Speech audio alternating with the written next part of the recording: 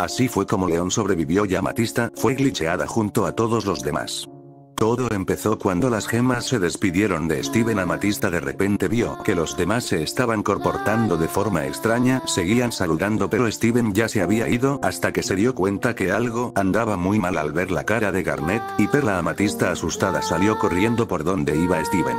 Amatista sentía que algo malo estaba ocurriendo y podría ser un gran problema pero para su mala suerte, cuando ya veía el auto de Steven un extraño glitch le bloqueó el camino y empezó a rodearla. El león vio a Amatista y quiso acercarse a ayudarla pero Amatista al ver lo peligroso que podría ser le dijo al león que no se acercara y fuera por Steven. El león iba hacia donde estaba Steven pero solo se veía todo glitcheado. El león con un rugido intento correr el glitch de su camino y aunque por unos segundos parecía servir volvía con más intensidad Amatista se encontraba totalmente rodeada y con su látigo frenéticamente intentaba atacarlo pero sin éxito alguno sin darse cuenta lo que antes era Perla, se acercó lo suficiente como para agarrarla bruscamente y glitchearla el león sintió el grito de Amatista y cuando quería ir se dio cuenta que estaba totalmente rodeado, solo había una forma de salirse de ahí y esa era haciendo un portal con su rugido a cada lugar que el león iba. Ya estaba siendo glitcheado el león fue yendo de lugar a lugar sin parar hasta que de repente terminó y había personas pero eran algo extrañas el león, decidió quedarse ahí por mientras observando tristemente ya que había perdido a todos sus amigos.